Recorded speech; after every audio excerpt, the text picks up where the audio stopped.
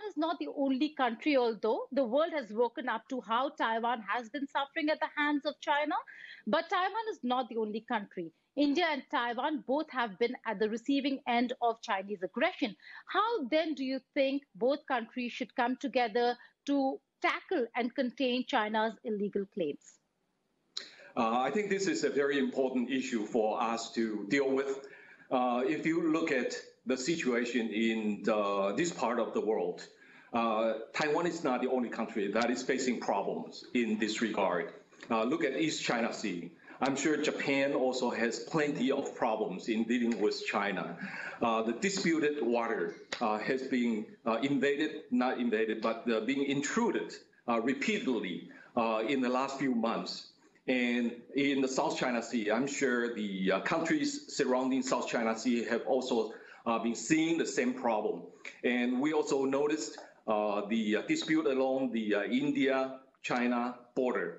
And therefore, you can see that uh, we are facing the same issue. And that issue is the expansionism of authoritarian Chinese Communist Party. And we have to think about a way for democracies, for like-minded countries to work further together. Uh, we have traditional good relations with the United States, with Japan, and we want to develop closer ties with India as well. Uh, in, in, order for Taiwan and India to work with each other in that regard, uh, I think we need to start by thinking on uh, how to exchange views or intelligence with each other on the situation that we face and try to explore the possible areas of uh, cooperation. And we in Taiwan have the full intention in working together with India, uh, even though uh, this is not a military alliance type of relationship. But I think for like-minded countries to work together in exchanging views with each other, to understand about each other is going to be very important. And it's important for Taiwan, and I'm sure it's going to be important for India as well. You talk about countries coming together. You talk about like-minded nations coming together. The United States of America has come forth to support Taiwan in its in its struggle and uh, and in its uh, entire approach uh, to having its territorial integrity intact. Having said that, the United Nations is yet to recognize Taiwan. Do you think it is time that the world, that the United Nations comes out and recognizes Taiwan as a nation that it was a part of in the in the in the earlier days, and now it is time that Taiwan is brought back to the UN fold, even though we know that there is a veto yielding China that could stop that move.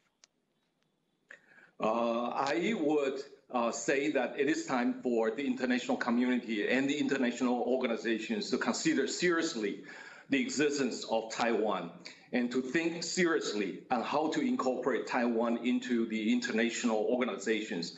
Uh, anyone who has any experience with Taiwan, uh, we have 23 million people, even though it's much smaller than India, but at least it's a mid-sized country.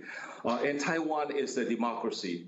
Uh, we have a democratic government that is publicly and democratically elected by the people here in Taiwan.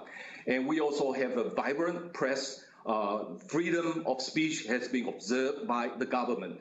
And therefore, uh, for the international community to understand that Taiwan is in existence outside China, uh, it's going to be very important. Uh, many countries uh, think that uh, there's a one China policy that China represents Taiwan, but that is not true. You know, historically, uh, beginning from 1949, uh, Taiwan has not been any part of China. And that is beginning from the day that the People's Republic of China is established. The two sides have been separated. And therefore, China cannot represent Taiwan internationally. And only the democratic, democratically elected government in Taiwan can lawfully represent the Taiwanese people. And Taiwanese people have the same right as the right of any other country to be represented in international organizations, in the UN or UN affiliated organizations. And uh, we are not just trying to pursue our participation in international organizations such as UN or WHO. What we want to do is to be able to make contributions to international society. Uh, we have been working together with some other democratic countries in making Taiwan's contribution. Uh, and uh, we are a country that is well experienced in dealing with public health issues. And therefore, uh, during the pandemic, uh, we have been providing assistance to many other countries uh, in terms of relief material or other type of assistance. Uh, we even have a video conference with some Indian hospitals, Uh, working together with them to build up uh, the safeguard to combat COVID-19. And therefore, for Taiwan to be able to participate in international organizations such as WHO is not only working in the benefit of Taiwan people, but also working in the benefit for other countries. And excluding Taiwan is not in the interest of Taiwan and it's not in the interest of international society. Taiwan, as I said, uh, has been threatened by China for years. And Taiwan happens to be on the front line of the Chinese expansionism. Taiwan is the democracy, and we want to fight for our existence, and we want to be prevail so that democracy around the world can prevail. Hi everyone, Preeti Chaudhary here. Hope you like this video. For latest news and analysis, like and subscribe to the India Today YouTube channel. And don't forget to press the bell icon to stay updated. Thank you for watching.